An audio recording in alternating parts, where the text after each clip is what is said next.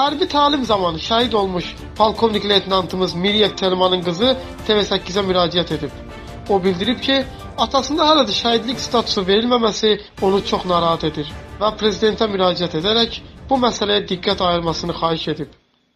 Polkovnik leytenant Mirayev Telman Mirbabağlı 2016-cı ildə təlim zamanı şəhid olub. Atam şəhid olanda mənim 4 yaşım vardı.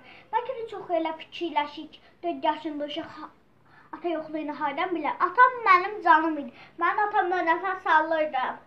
Mən atamın şəkillərinə baxıram, özümü təsəlli eləyirəm. Atamın paltarlarının qoxusu ilə yaşayıram. Atamın iş yoldaşları mənə atamın qəhrəmanlığını danışırdı. Atam atamın apel döyüşdən necə döyüşdüyünü, vuruşduyunu. Atam bir qəhrəman idi. Atam vətənini çox sevirdi. Atama dedim ki, ata nə olar bir gün məndən evdə qal. Atam dedi, yox qızım qala bilməyəm mən səndən evdə. Mən hərbiçim, gedib vətən bizi qorumalı. Və atam da vətən yolunda şəhid oldu.